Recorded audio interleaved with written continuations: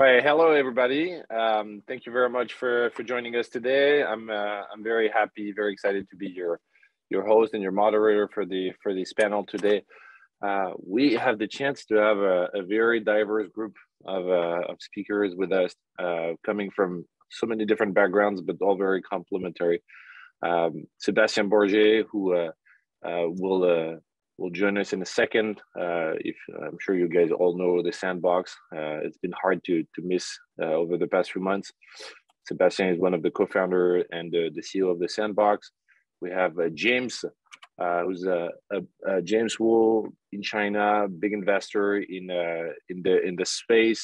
Feng Han, who will join us as well, who's a uh, an academic and uh, and uh, and and running a, a, very large, a very ambitious DAO, and Bruno Skvorc, who will runs a, a very interesting protocol, very advanced NFT protocol, who will be able to uh, to introduce all I, I would like to start with uh, with you guys to being able to to uh, get the opportunity to introduce yourself very quickly uh, what you what you guys are doing, and then we'll uh, we'll jump right in the the topics today, uh, and uh, and to talk about building better world, the metaverse, and uh, all the opportunities. Uh, Bruno, you want to start? Yeah, sure. Um, so my name is Bruno. Um, I used to work at the Web3 Foundation as a technical educator and started the Remark protocol um, in 2019 as a, as a side project and then it kind of evolved into its own thing. The gist of it is that I was, I was sick of um, NFTs just being images. And so I figured that if you just unlearn their images and and realize that uh, an NFT is anything uniquely identifiable, and then um, think of it as rows of data that you can cryptographically prove that you own, it kind of opens a whole new world of things. And so I developed a system of five elementary NFT Legos that when you put them together, you can compose any system of arbitrary complexity, nonetheless supported by any UI that integrates these standards. And any derivation and permutation of these Legos is also automatically supported, which means that you get a much more robust and much more versatile set of NFT functionality out of the box without having to develop custom smart contracts for them. Um, which is the case right now with, with a lot of these where you kind of have um, an NFT project and then a team kind of has to develop a special UI for it. And then you kind of re rely on them and only them to keep that alive, to keep that UI uh, around, to, to keep that functionality around and so on. Like for example, the, the Bored Apes Club, uh, Club uh, Mutant Serum, you can't really use that anywhere else other than on their UI. And the effect, even if you do manage to burn the, the, the serum, um, the effect is just not going to be applied the same because they need to generate that image for you and upload it for you. So um, this this kind of pushes the needle in, in like this direction of fully versatile and and infinitely customizable NFTs that I can just go over briefly later. Um, but essentially, it just it was born out of frustration with the simplicity of NFTs today, and and it just takes them further. I love I love there are always so many different reasons to uh, to start a new venture. Uh, out of frustration is uh, is, is, is uncommon, but it's uh, it's exciting what comes out. Thank you very much. Um, James, can you uh, can you please give us a little bit of your background? Uh, you're a big investor in the space.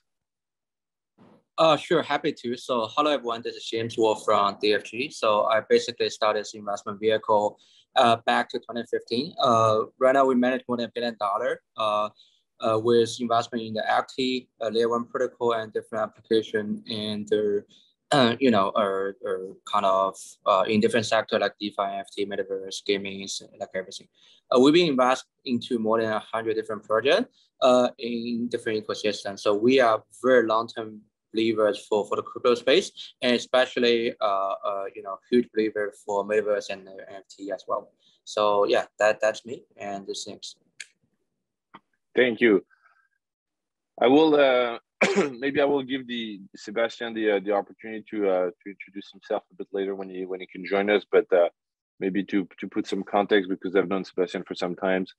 Uh, I'm I'm pretty we're we're, we're we have the chance to uh, to be pretty close to each other as we're we're both in Paris. Sebastien is the, the co-founder of the Sandbox. The Sandbox is the this uh, massive metaverse platform right now that is built around the decentralization and, uh, and user-generated content. Um, and uh, he uh, he will give you probably more data about it, but I think the the, the numbers uh, that you can read right now in the press speak for themselves. So so very happy to have you all here. Uh, the point of today's conversation is going to be a conversation and, and not really me trying to always uh, ask you guys specifically for, for your own opinion, but let's try to make it uh, like a conversation, like if we're all grabbing a coffee and uh, and discussing this in a kind of like laid back way. Um, the, what we're what we're willing to discuss about today is what is going to be the, the path to uh, um, really evangelize and, and, and get the mass the mass community, the mass market to join and to and to participate to this open metaverse. Uh, the open metaverse is a is a is a thesis that is a, that is a very uh, that matters a lot for for for a lot of uh, for a lot of us here. And so uh, I would like to uh, to start uh, a little bit by talking about this and maybe maybe uh, asking a little bit to each of you uh, how do you guys would define what's the open metaverse? And i don't want to get into the definition of the metaverse because i think this is uh, already too confusing and people already have so many different ones. But but this idea of, a, of an open metaverse that keeps you know coming back and back and then with companies like animoca brands and how do you guys define that? Let's start with uh, with you james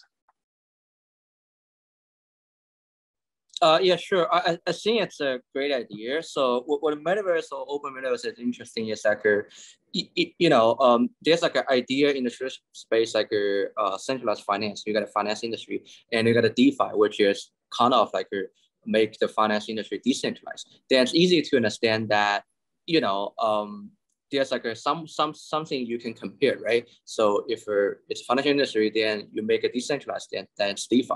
And and uh, people, you know, uh, work in the DeFi space, then it, it's very easy for what is DeFi, right? But for metaverse, that you know, even in the traditional industry, without crypto, without blockchain, it hasn't been proved that it's a really a, a, a mature industry. So it's really hard to define what is really the things we can build on our metaverse. And which means it's very interesting. You can basically do everything. So in the you know in the financial industry you, you got like insurance you got you know um, you got banks, you got exchange, you got basically the, the, the security, you got you got you got everything there already being there. You just make it decentralized. So it's very easy for you to have idea and build on top of, top of that. So it, it's really you know the, the case in the industry as well. Like uh, Uniswap is building on DEX and they make it out LV discount building, building on lending protocols. There's other DYDX that are built on derivative tradings. So it's very you know uh, easy for them to find a solution about what to build. But for metaverse, since there's no kind of uh, things to compare, so it's really a very new in uh, new I would say sector that uh, you know basically don't have a clear picture yet. So which also means that you, you know we all agree that this could be a, a trillion dollars of, of market and no one have the clear path about what to do, which hmm. probably mm. you know can result in that you know a metaverse in the crypto industry become probably the even the, the largest amount amount amount even even bigger than the traditional industry, right? So you know the other is like a, you know you got to compare to them and take it gradually and try to build them in the long term. The the things here in the crypto industry in the metaverse is like a, you try to build something very very new and just take over the market. So it's it's it's totally different idea. So that that is my understanding about you know you know why metaverse should be big in the future, and there you know why why it should be very very open and uh, why uh, how is the metaverse will be in the future. If I if I focus a bit more the the question uh, to to you Bruno like I, I, could phrase it a bit differently. What what do you think is the difference between the metaverse and the open metaverse, or what what defines it as this uh, openness? Yeah. Um, so there's there's different. Um, I think it's really important to understand the difference between a multiplayer game and a metaverse. Um, what we see today uh, in 99% of the cases is not a metaverse. A metaverse is open and does not run on anybody's one server that can go down and disappear with everything you have. Additionally, every single metaverse out there right now has the same problem, and that is that they use NFTs as access tokens and nothing else. And so you have this one centralized client being developed by one centralized company that actually is just a game in which you have certain assets like a glowing sword. And if you have the glowing sword NFT in your wallet, what that client, what that application does is when you log into it with your Web3 wallet, it will check your balance for that glowing sword. And then it will allow your in-game avatar to access that asset that is already in the game. Now, this has several problems. One is that I can sell the sword while I'm using it because it is not bound blockchain wise to any kind of um, scarcity in terms of the virtual space. So like this sword can be used in one location and I can log into another game with the same address, use it in another location. Um, but also additionally, you have to communicate with a centralized entity to make these models that are compatible with these metaverses, aka multiplayer games in this case, because without them, you can't really import new assets into this game. It's not possible. They have to make an asset that is compatible with their engine and it can be imported into their engine. Well, not they, but somebody who does these assets and who has the ability to put them into the game. Um, oh, so, so just to, to make sure I, we understand exactly where you're going, you what you're saying is that by definition, a metaverse has to be open. So there's there's no open metaverse. Every metaverse should be an open yeah, metaverse. I'm saying no, not not not not exactly. I'm saying a metaverse should have ownership of experience, in that you and your experiences are not logged to somebody's server and can go away. Um, that doesn't necessarily mean full openness where you're allowed to do anything at any time, uh, because obviously that doesn't make sense in, in, in most cases. Um, but you have to own your experience. And this is why, for example, with having, uh, let's say you have a Bored Ape uh, NFT. If you turn that into an avatar in some, in some 3D environment, um, that avatar is, that 3D avatar is in no way connected to that NFT, in no way. Um, you are using your, uh, your Bored Ape NFT as a permission slip to activate that avatar in the game. They're not connected in any way. Uh, this is the limitation that I'm talking about. And so any experience that your avatar has in that universe is bound to that universe alone. And it cannot take it out of it. And you have the same problem you have right now with, you know, the various MMORPGs. similar. When they disappear, your character disappears, your experience disappears, everything. We are focusing sure. too much on gaming here, but this applies to a lot of things. So you have I understand. to have ownership of experience. I would I would love to to hear uh, Sebastien's opinion on that because of course it's uh, it, uh, it must resonate a lot with uh, with what with what Sandbox is doing. I, I actually agree a lot with uh, all the things you've said. Like ultimately, the goal will be to have uh, the NFT in a self-hosted, decentralized manner, not only on the data storage or the uh, storing of like the ownership, the authorship of the CC, but also in all the permission rights and the way that smart contract allows to interact across multiple uh, decentralized application. That's uh, like the long way uh, vision of full decentralization that should uh, be implemented and hopefully should be supported by all the decentralized world over time.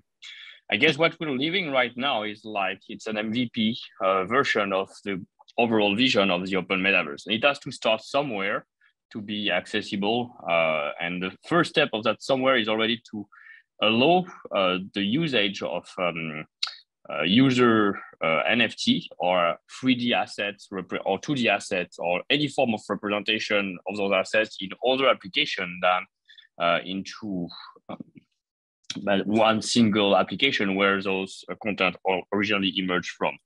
That's what uh, I would say the MVP version of interoperability is uh, proposing. And so far, I haven't seen that. It's a lot of effort all by itself. It's an effort like in content production, like because you have to naturally, if the asset is not uh, produced already in a format that can be represented anywhere, and it's hard to produce content for any future uh, location where it could be applied. That means that the client would decide to implement um, interoperability have to do that work. And we're at that stage. I think that's the next stage that's uh, will be coming where uh, NFTs will be coming into so many different formats originally from their creator that it will be requiring less, uh, of, less of this kind of uh, content production effort from the application who want to implement uh, interoperability. The ownership uh, is really tied, as you said, as uh, to this notion of access right. I think like it's very the very first form of manifestation. I own something, so I have the right to use it. I do not you own something, I do not have the right to use something. However, do I have the right to use it into one single instance of an application where I am versus multiple instances of application where I am? The metaverse is also being is, is being is about being ubiquitous. Is about having your avatar able to cross multiple worlds, have to present into on multiple uh, virtual world and have that identity it's never been said that that identity cannot be present at one other application while it is at one simultaneously leveraging the same NFT you own. It's still your yeah, ownership. ubiquity. Uh, but th this is very debatable. I mean, like we're building something new, something that so far I've never seen implemented at scale, and this is a, a very interesting discussion to have and think through there. So it's a it, it, it I have a series of questions, but actually, uh, as as I want to keep it as a as a discussion, I, I'm I'm trying. I would like to kind of uh, uh, piggyback on that. So I was uh, I was listening to uh, the I think the the, the CEO of uh, Delphi Delphi Digital recently, and um, he was saying something very interesting, which is that he was basically saying decentralized decentralization starts like as a as a as a it was not necessarily created. He, he was quoting the the white paper of uh, of Satoshi Nakamoto, Nakamoto, and, and saying that basically decentralization was brought to the Bitcoin protocol uh, to avoid censorship, uh, and not really because it was a, a, be, like a benefit in itself, and that it was actually more bringing more constraints than than than benefits. And so when I when I listen to you guys, uh, I, I hear also a lot of people right now who are obviously very interested about true ownership and digital ownership of uh, or ownership of digital rights. There uh, uh, about composability, all these opportunities that come through decentralization. But it kind of triggers the question in a way that is decentralization uh, necessary, specifically when we think of the uh, the metaverse, and or you know, or is it just a uh, is it is it is it to, to, is it a goal or is it a goal to achieve eventually um, what do you guys think? Like, do you think that it's a it's a core pillar that has to be uh, protected? What's you know at, at all costs, or um, it's just one way of doing it? Um, James, what's uh, what's your opinion on that? You have uh, you're you're not you're not deep down in the uh, uh, doing execution here, so I guess you have a bit more of a a bit more distance on the topic. Uh, yeah, thank you. I think it's a great question. For, for my understanding, it's 100% necessary here. Otherwise, without decentralization, I don't think there's not a point about using crypto or uh, the blockchain, you know, uh, overall. Um, uh, you know, what, what I also view this as like uh, when Satoshi, whoever he or he is, uh, when created Bitcoin, because the background is like uh, in 2018, the there's a financial crisis. So, I mean, for Bitcoin being created at, a, you know, in, in 20, 2009, I think the initial thought is not about, you know, not about uh, decentralization, not about a lot of things. It's just about, you know, creating a, a currency that was a fixed amount of, you know, total supply and uh, no one can change it. So that's the initial thought, right? Because the Federal Reserve bring too much like a uh, uh, fiat, and you know it, it create a problem. So this is something you know I think the the very simple initial thought about about Bitcoin. Limited but, supply yeah, just control the supply. No one can, you know, creating, you know, more currencies by themselves for different kind of purpose. So that's very initial and a simple reason why Bitcoin is created. And later on, when people, you know, uh, when the industry like developed in the past 10 years, then people realize that it's really important to own your own asset. Then, you know, decentralization is really the way for people to own their own asset. So that's why the industry exists and why the industry become much better. What, what we do here is really just try to um, you know build a very solid infrastructure and eventually build a you know end user application. Uh, make sure make everything kind of very usable and make it decentralized. So once we have these two things together, uh, they can replace the you know the application in our daily life in, in the Web two world. That's I think the eventually uh, the, the the vision of of the crypto and uh, the vision of the blockchain industry. So it's actually you know uh, uh, gradually people understand that, but I think decentralization is actually the the things which is 100% necessary in, in our industry and also in in the whole world, I guess. Well, Sebastien, so you, you guys have been yes. through different steps, right? You, you guys didn't start from the get go being being decentralized, and uh, you you you eventually moved there. Actually, we experienced the same at at Darewise and our game Life Beyond. So it's uh, uh, we've been through the similar process. What is your what is your view on that?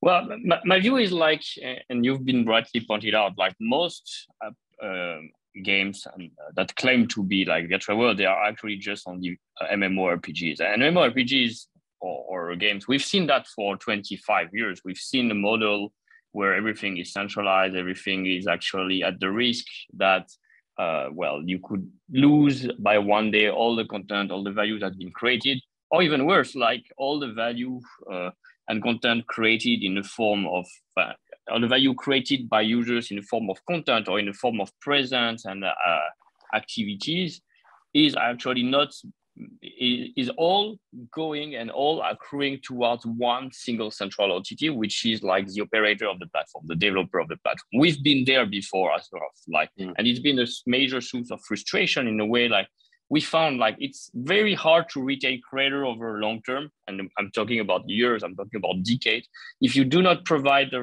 right incentive passion rec- social recognition they are not sufficient as social incentive you need to give more and that so far a form of recognition that seems to be running the world since uh, the beginning of ages has been also like compensation, revenue generation from uh, your the, the value you bring as work, as time, etc.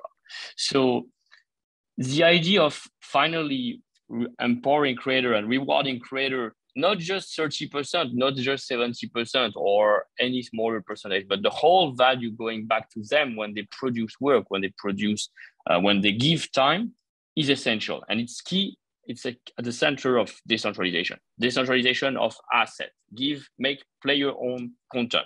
Then make player own economy into those virtual world, like decentralization of the money, but not more than the money. It's not just a currency we're decentralizing. It's really a utility token that push into uh, enabling more governance. Like all those virtual world, all those MMOs after 25 years, they have become very political. They are their forum. They have uh, they have guild, they have people voting, there are even people striking against some of the decision.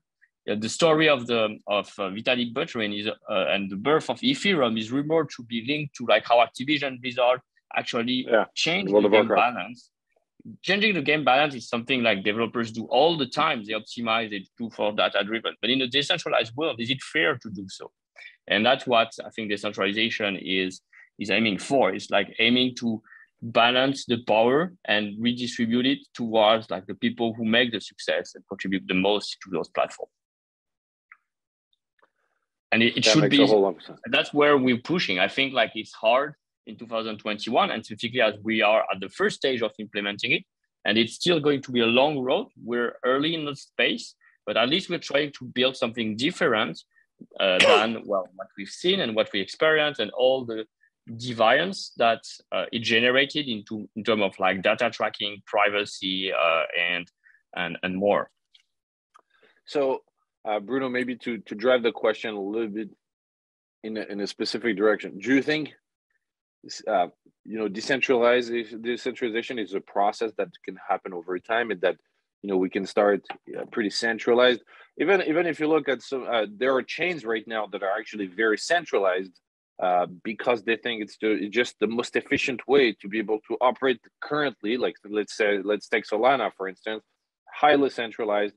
You know, you're uh, they they also say you can't have it all right now, and uh, you have to give up something if you want to go in direction or another. So, do you think it's because you know, I, I heard about your your critic uh, about about uh, this kind of a centralized layer, even if there's a, a higher goal do you think it's a? Do you think this thing can happen over time? I mean, sure, it can, but it usually doesn't because uh, by then the tech debt is too big and the comfort is too too large to move away from it. Uh, by then they're too used to what they've been doing to actually make such a fundamental change. So I don't think anybody who doesn't start uh, decentralized is actually going to decentralize. Um, that said, in metaverses in particular, especially in their current format as multiplayer games, they don't actually have to decentralize the running of the engine, even though they could. There are now things like the Phala FAT contract, which can do uh, computational execution for you on chain in the style of iExec and other fog computing methods, where you can actually run the backend of your game on a blockchain, so in a decentralized way. So you are actually really free of any kind of server. The problem you run into there is that if you use the current NFT infrastructure, you are again stuck with relying on somebody else to make you those assets.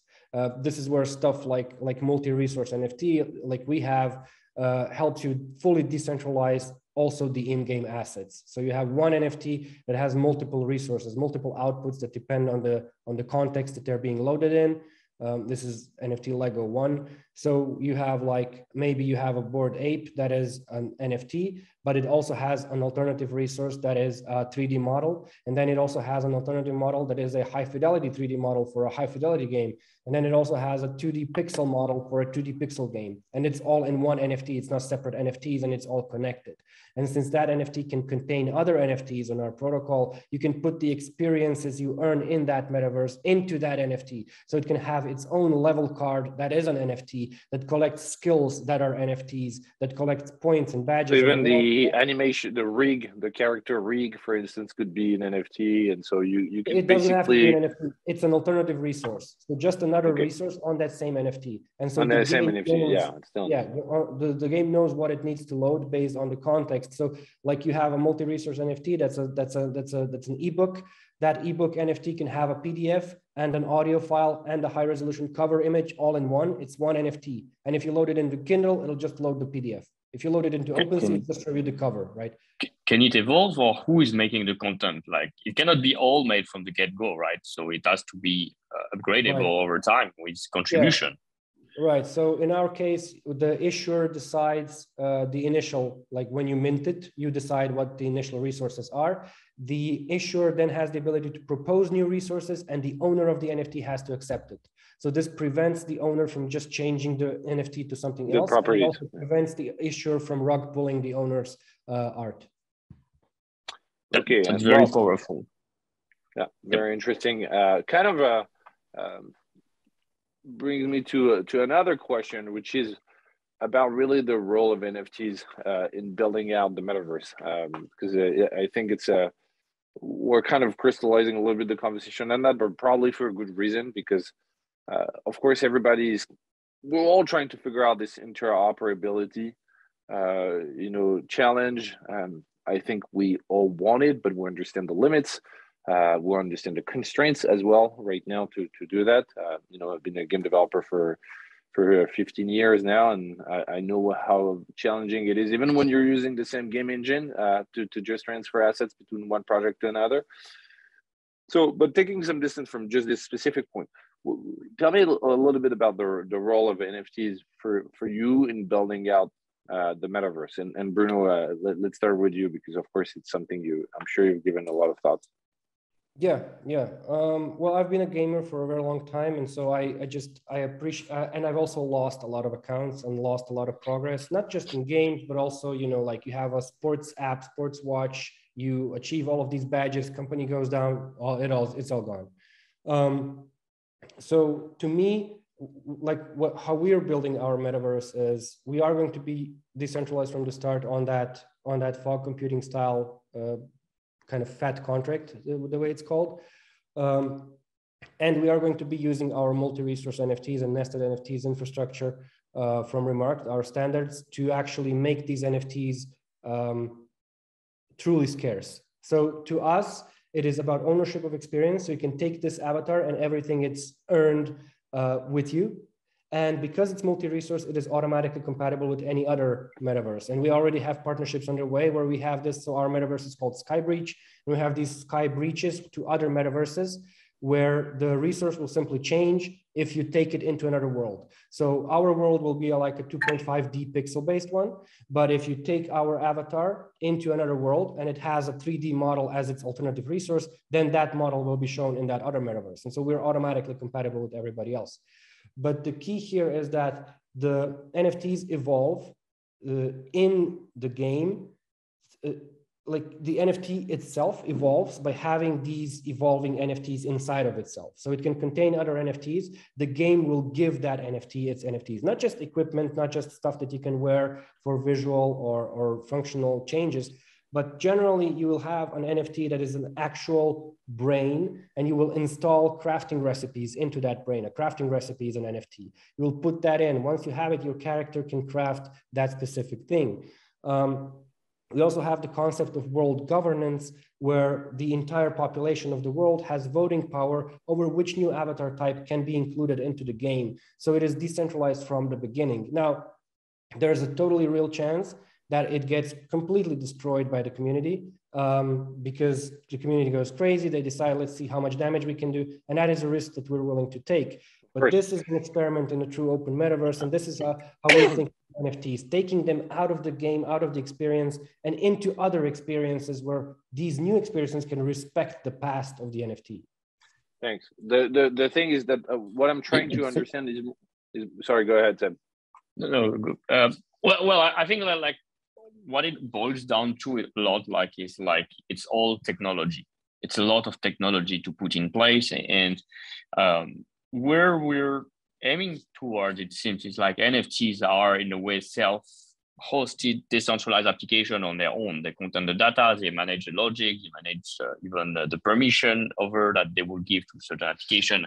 And where they are being used, uh, the client has some host that would require wallets to connect to allow those interaction and, and be respectful of uh, what's been defined into the NFT to interact. And, and this is a very interesting paradigm, and that it shows like um, this cannot be achieved by current tech. Like if I take any existing virtual world or the Minecraft, the Roblox, the Fortnite, let's not even talk about them. Like, well, it's one galaxy far away today. Maybe the existing decentralized world could implement it if it's based on uh, like you said, uh, like uh, uh, existing technologies that didn't accumulate too much technical debt. So the Decentraland, the of Space, and potentially Sandbox as well. And we look, we like to look into it, like how would it work, etc. So, so we could plug this kind of content. Um, overall, it, it's um, it's a lot of effort to program one NFT. It, it makes like the NFT content creation almost like a whole application production at this time. You have to, to, to think and incorporate much more than just the content. You have multiple form of content, logic, etc. Um, governance rights, uh, the rules of uh, crafting, the rule of upgrading, the rule of the game balance of that NFT. You have to think that balance across multiple possible application to make sure like it's uh, not going to become unfair to play with as NFT into another game that would allow you to, to, I don't know, to loot or to upgrade much faster than somewhere else. Those are new design challenge, definitely. And, and it's interesting, it, very few game developers or game designers are actually prepared for like the disruption of the logic that we're preparing for here because they are all creating application as those like um, dictators. You know like game designers are often called dictators. They decide all the rules of their world or their apps and they really very are not keen on on giving over that power to the community to let that community decide and make the thing evolve on their own. That's um so, so my, that, that my takeaway is like we need new skills. it's not only built on tech but it's also built on new skills and probably a new kind of audience to progressively adapt into that whole logic that whole paradigm until it will become fully mainstream. And for reaching that, there's probably a few steps in the middle to still try to bridge toward that ultimate end goal uh, that we're trying to accomplish. And I'm, I'm glad that we're we're talking today. Like the very interesting conversation is bringing a lot of like very valuable feedback and light that we don't usually get on, on uh, all the panels. We are only focusing on NFT value. Um, Thank you very much. I think that it's it's it can trigger uh, so many additional question and and maybe we'll we'll go back to uh to NFTs. Um, but I'd like to try to to because the metaverse is not just NFTs. The NFT is the apparently is the asset that are going to uh, they're really driving the dynamics there. But there are other stakeholders, right? I, I'd like to talk a little bit about the um, DAOs because I think it's uh, they they start to become a more a, a bigger and bigger uh, focus on. Um, you know, I, I'm I'm trying to to find a good way to express that, but Web three and blockchain is about um, putting it's about fairness for all the stakeholders, and so instead of creating this completely unbalanced relationship uh, that you guys have kind of meant uh, uh, mentioned in a way, you know, between the developer, the publisher, the operators, and users uh, right now, we get this much more balanced relationship uh, between all of these uh, actors of the, the, these experiences, these services. How, how do you think that DAO, like, how, what is for you the importance of DAOs in the development of the the open metaverse? Uh, let's start. Let's start with with you, James. Uh, sure. So uh, I, I think DAO is really important. Uh, I it's actually a very I mean, you know, for for for crypto industry from the beginning, right? It, it's like a uh, let let's let's go back to 2017. You you got like a um you know there's no decision. Basically, the most important thing like here is there's no decision making process. So I mean, uh, you have like a Bitcoin committee disagree with each other, so they came out like a Bitcoin Cash. And from the beginning, you have Ethereum don't uh committee don't disagree with each other, then uh, you know kind of have Ethereum Classic. So later on, there's still a lot of debate in the in the in this kind of community. And then, you know, because of lack of decision making process, so a lot of things are not building yet and very, very slow in, in making the progress. So that's a problem. So I think DAO is actually a very good and important ways to solve the problem. It's like a, oh, okay, so here's a decentralized decision making process. Then, you know, everyone, you know, every stakeholders can can can agree on a process, then we we just vote for that. So that's actually solve a lot of you know I, I would say the governance kind of uh, problem in uh, in the crypto industry for the long term. So in, in the metaverse, I think that's that's basically the, the the same thing. So eventually you will you, you will need a DAO that to to kind of design as a uh, as a as a kind of decision making process in the metaverse. So that's actually uh, same in the metaverse and same in the crypto industry. So that's my understanding why I think we we need a DAO in in the long term. Interesting. So um, Sebastien, what uh, I'm I'm sure you guys are interacting with some some of them today, uh, who are stakeholders of the sandbox, the, the sandbox world. So how how important for you is it just a um, some it's just an, a, a new way of communities to organize or is it like critical is it the central part in a way of this whole uh, new paradigm in terms of DAOs, um, so right now most of the DAOs I've seen are like sharing a common interest around like asset ownership and around like uh, in a way revenue education and revenue generation. Like let me make it's a little bit more clear. Like either guilds of players are uh, forming together, they are providing scholarship program, they are leveraging the assets to uh, generate a revenue yield and then maximize the outcome of it by uh, getting uh, more trained, by multiplying the number of players and splitting in a pool the revenues they generate. That's an interesting approach that definitely that you, sometimes you could say it's farming, but in another way, it's also uh, and it has been existing before, but it's been done in a decentralized manner and with the educational aspect of it that bring a, a great amount of players which would have maybe have not been into this kind of gameplay before or never into uh, interested into gaming. So it's pushing the boundaries of gaming into new audiences and uh, it's been done at scale. We've seen like uh, that much scale that some countries have been leading in the space, and they've been known for leading the play to earn and uh, gaming uh, for that. I think it's uh, definitely interesting uh, to interact with DAOs as they hold that power to of distribution of reach for your game, to think your gameplay, to think your rules, to think how they can interact with your game, so you can mutually benefit from each other.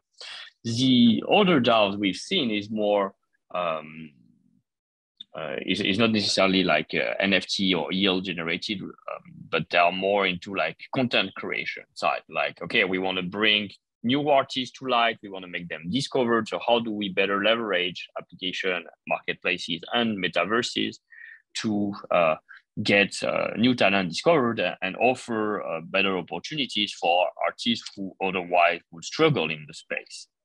That's also uh, something that we're trying to help with at Central.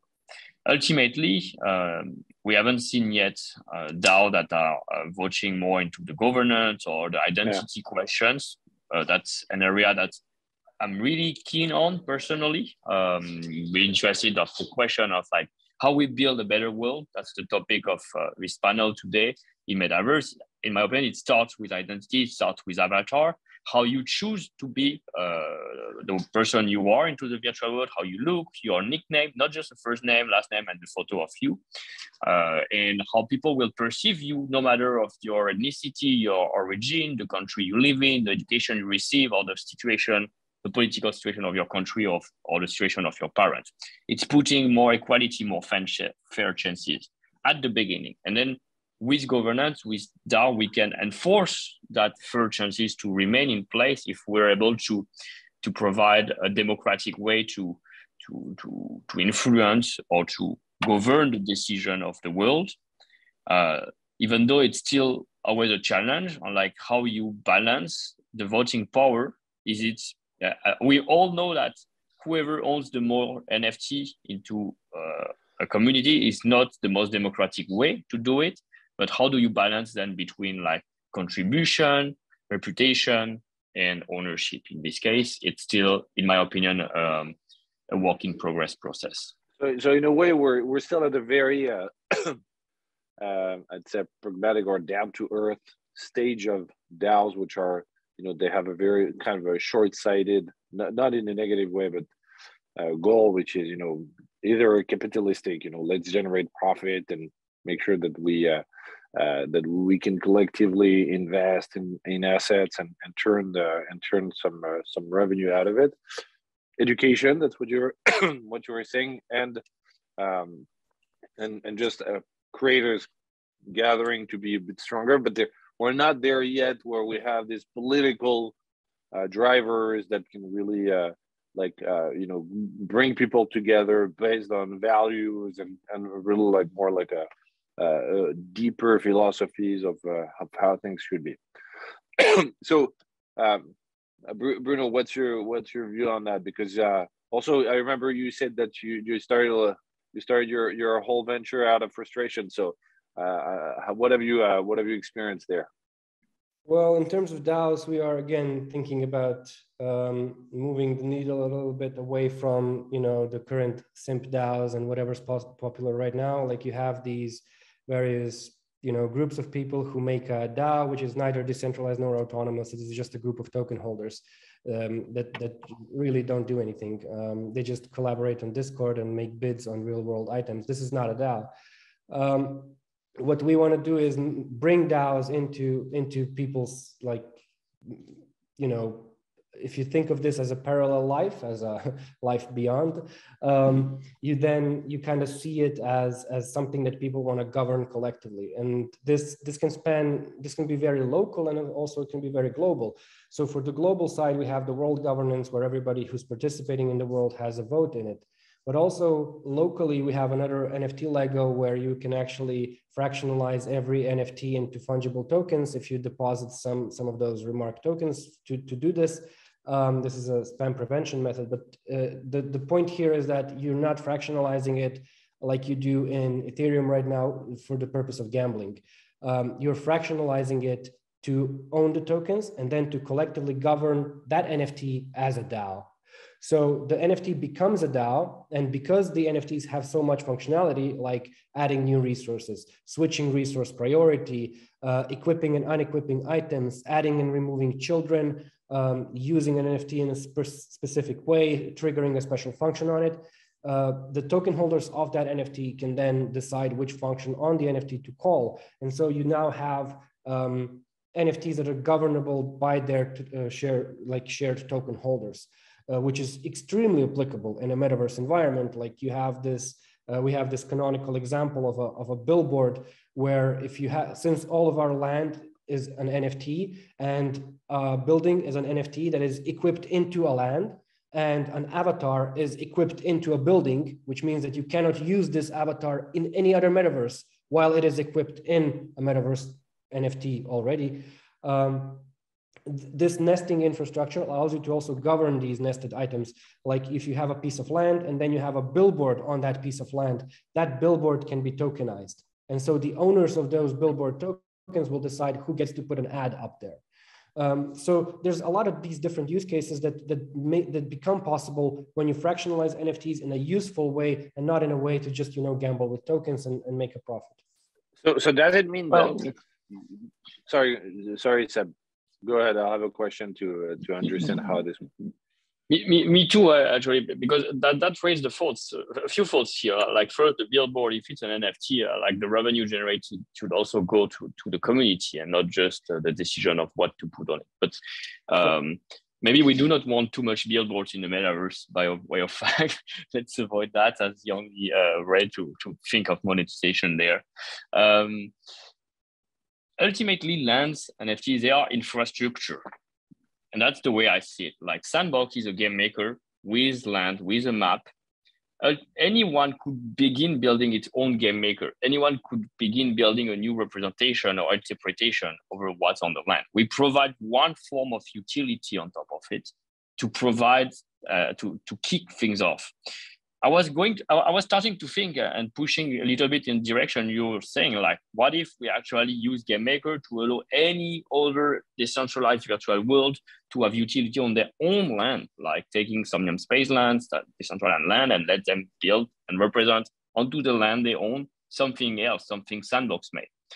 That idea, uh, it doesn't sound unreasonable, right? That anyway, that like you own the land, you own the token, you could publish on it if you want and, and that's um, a very that's a, a, paradigm that we have to consider because I'm not sure if I'm the only one starting to have these kind of ideas here on, on this panel in general, or it's um, it's something like broader that also comes from the community having these kind of needs. And and uh, and my question to understand better, Bruno, what you what you were saying is, does it mean that every NFT would be uh, would have its own token as well because then how the DAO would be able to govern the the future of that um, NFT. So every NFT can have its own token. So the owner of an NFT can turn it into fungible tokens if they deposit some RMRK tokens. This is a spam prevention method, and then so this prevents fungible token spam.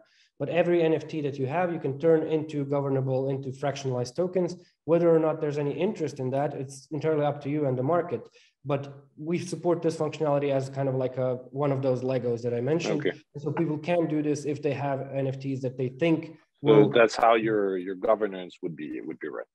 Yeah. Okay.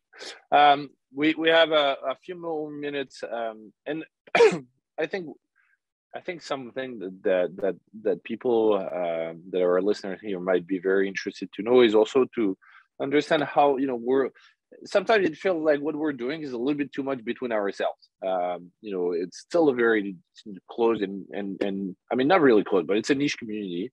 Uh, mostly because the entry barrier is pretty high, and um, and of course, what we're trying to figure out to, to get together is what it's going to what it's going to take, you know, to to to get out of this uh, uh, connoisseur world to uh, to a, a more mainstream uh, audience. I would like to, so one way I, I don't want to I don't want to ask you and, and go to into too many directions how this is going to happen, but uh, let's focus a little bit on like large companies. You know, we we think of like the big players out there, and I'm not just talking about Facebook and Google and Amazon. Let's just uh, uh, be uh, see a bit wider. Do, do you, how do you think? Like, do you think these companies are basically going to create their their own uh, private gardens, uh, you know, within this space where they're going to try to uh, uh, bring this most more like a massive audience and but try to lock them within these worlds? Or uh, how do you think these big companies are going to uh, interact uh, with with this world? And i know sandbox for instance already has already built a, a, a, great number of partnership with uh, with brands and companies from the physical world. So so, so tell us a little bit Seb.